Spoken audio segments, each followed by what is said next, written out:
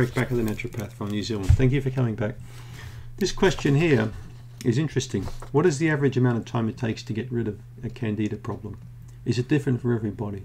It's totally different for everybody, and there are lots of reasons why. All right. One of the main reasons why it depends on you as a person. It's no different from how long does it take for someone uh, to make money? How long does it take for someone uh, to get an education? How long does it take someone to do anything? It depends on the motivation. It depends on the drive. It depends on the reasons. It depends on what's in it for me. All right.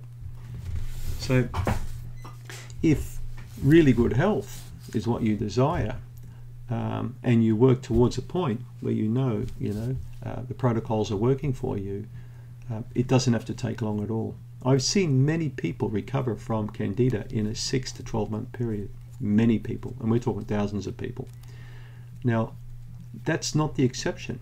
That's the norm for uh, very, very motivated people who've had enough, you know, of doors slamming in their faces when they go to doctors. These are people that just wanted to get better and they would do anything it takes to get better. Now, you may say, I'm like that, I'm like that. But are you really like that? Likely not. All right? Especially I find for the male patients, they're just not motivated enough. So men tend to you know, get their health on track in direct proportion to how much pain they experience. With women, it's a little bit different. They tend to talk more than guys. They tend to talk to girlfriends. They get on the phone, la la la la la la la la, and of course the girlfriend will say, "Look, you got to go to the doctor. You got to get this fixed up." And the guy ain't going to do that. He's just going to have another beer and say, "Oh no, it's all okay. Yep, I'm bleeding a little bit from the backside or here and there, but I'll be good to go." You know, and okay, and that could take years and years and years to get better. So it depends on you as a person. It depends on the reasons why you want to get better. All right. Also depends on your age. Depends on your education. Depends on how much money you've got. Depends on a lot of factors.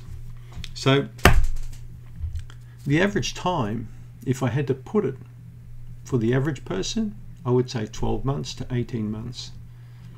But it's impossible to say I've had many patients also who responded much more slowly, and some people took two, three, four years. Especially people with, um, you know, high, excuse me, high-powered responsible jobs or large families or big businesses or organisations they were in charge of. They couldn't really take time out. So just because you've got money and responsibility, it doesn't mean to say you can just take six months and go to the Maldives or something while you recover. All right. So Think about a single mom with two kids on her own, working, trying to make ends meet. It could take years for her to get better. Think about the same lady in a really loving, supportive relationship with a partner, uh, you know, and everything's working for them. It may take half the time. Think about a guy who's trying to nurse a sick mother who's got Alzheimer's disease or dementia, and you know she's in a home. It could take that guy a long time because he's under stress and then you think of somebody else, it might take quarter of the time. So your life and what happens in it and what you eat will govern your recovery time. So that's why it's impossible to say it's exactly this amount of days or months, okay? Because we're humans, we're not motor vehicles. It's not a matter of booking us into a clinic and then getting rid of candida, like taking out an engine and putting new whatever in the engine. It doesn't work like that. People actually feel and they think. Cars don't usually think a lot, do they? Be good if they did, though. So, I would say 12 months, 18 months if I had to. If someone held a gun to my head, I'd say 12 to 18 months. But I think more realistically, we're looking at two years for someone who's been chronically sick for five to 10 years. Could take two years. But some people respond in six months. Are they recovered in six months? Likely not. But usually they got such a shock when they were sick that they tightened things up and they recovered. Okay, but that full recovery to like really good health could take an extra six to 12 months. And that's what I call the danger period. All right. I often talk on this channel about the window opening up and the window closing. So the window opening up, allowing you to see the sun and the fresh air, that's you being asymptomatic or having no symptoms. Now that window opening may last a day and then it could slam shut on you. It could open for a week. But as your recovery, you know, keeps going, the window stays open for longer and longer.